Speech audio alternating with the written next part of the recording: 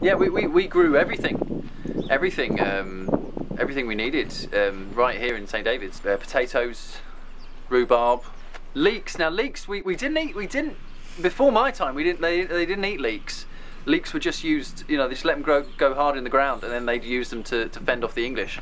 Uh, I tried to cultivate more of a culture around eating leeks rather than just bashing the. Mean, we still bash the English with them, but did we held back some leeks to eat?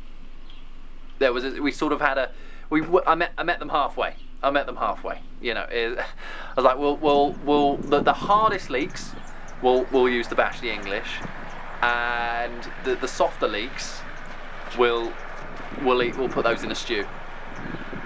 Uh, generally, everyone was quite happy with that. Yeah, there's a few. There's always a few. There's always a few people say, well, you know, what's what's the point in a leek if, if you're not going to go chasing English people? But yeah, sometimes sometimes you've got to compromise.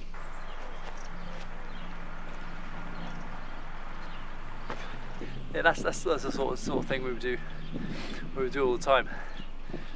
The harder the leek, the harder they fall.